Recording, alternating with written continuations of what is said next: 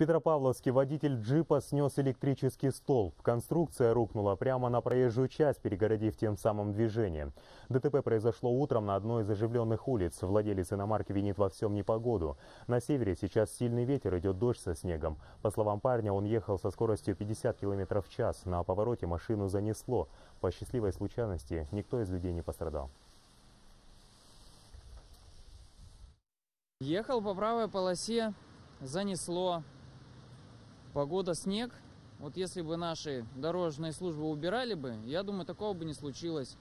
Просто асфальт должен быть хотя бы хоть какой-то чистый. Я грешу на это, прям вообще. Скорость такой сильной не была, но занесло.